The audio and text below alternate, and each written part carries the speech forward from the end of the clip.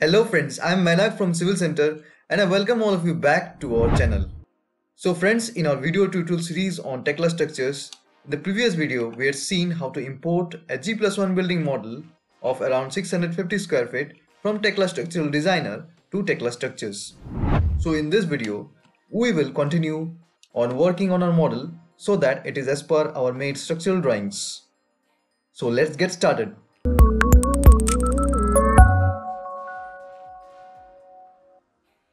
So first of all, I'll go and check my structural drawing for my footings. You can see that the footing sizes are F2, F3 and F1. So there are three types of footing marks here, F1, F2 and F3. So let us go and check out our schedule of footing so that we have three types of footings marked F1, F2 and F3 having these sizes and these depths. So first of all, I'll go and change these three footing sizes in our Tekla structures model that is F1 having sizes of 850 into 850 and depth of 250 mm. So this is our Tekla structures models.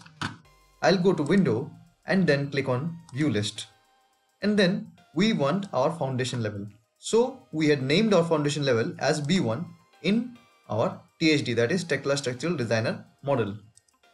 So we can open our foundation plan and then click on OK. So this is our foundation plan. If we want, we can also open another alternate plans. Let me just go to window, then close all views and then we'll open view list and then we want along grid 4 and also we want our foundation level. Now we can tile these windows vertically. So these windows have been tiled vertically. Now we can start working on our model. So these three footings all were of the sizes F1 as per my structural drawings. You can see here in the foundation layout all these footings have the mark F1. So we'll insert its size into the model 850 into 850 into 250. So I'm going to check its size. Its size is 700. So I will simply double click on it and change it to 850 and then I'll also change its size as 850. So I've done it. Now I want to change the depth. So for that I'll right click on it and then click on properties. So after that my properties windows pops up. I'll also double click on it and then I'll simply change the thickness of this to 250. So it is already being set to 250 so we don't need to change this. So I have achieved the size of footing F1. Now similarly I can also change the sizes of these footings or I can copy this footing and paste it to all footings of size F1. So I'll click on escape and then delete these footings. Let us see go and see which other footings have the size f1. So as you can see only these three footings have sizes f1 and the remaining are f2 and f3. So I'll delete these two footings right click on it and then click on delete. So these two footings have been deleted. We can simply click on it and then go to edit. After that, we can go to copy and then select the center point of the column as my reference.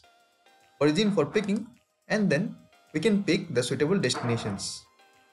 Then we can click on escape. So my three footings have been created. As you can see here along this grid, this is the footing size. And the depth of the footing is you can go to the properties and check it out. It is 250 mm and our length and width of the footing is 815 to 850 so we have done the changes for footing f1 now we'll go and insert footings in these two. Let us go and check our structural drawings. We can see that these 1 2 3 and 4 footings have the size f2 so let us check out what is the size of F2. So the size of F2 is 1050 into 1050 and the depth is 300. So we'll go to our Tekla structures model and simply change the dimensions of one of our footings of size F2. So it has already size of 1050. Let us check its size. It also has size of 1050. So let us check its depth. For checking its depth, you can simply click on here and check its depth. So its default depth is 300. So let us go to our footing schedule again. You can see that our depth is 300. So it is okay. We don't need to change this. Similarly, here also you can see that its sizes are 1050 into 1050 and for checking its properties you can right click on it and go to properties so its depth is 300 so it's okay then again these two footings also have the sizes of f2 so let us check out 1050 1050 and the depth by clicking on the properties. Depth is 300 is okay. This footing also 1000 into 1000 so I need to change this. I'll simply go and delete this. And then we can click on this and go to edit and then copy. You can copy it from here to here. So my footing has been copied so I have applied the footings of size f2 now the remaining footing is f3 having sizes of 1200 into 1200 and depth of 350 so as you can see here these two footings have the sizes of f3 so we'll put the sizes as per our schedule. So let us check the size of footing F3. It is 1200 into 1200.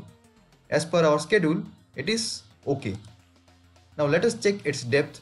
For checking its depth, we can right click on it and then click on properties.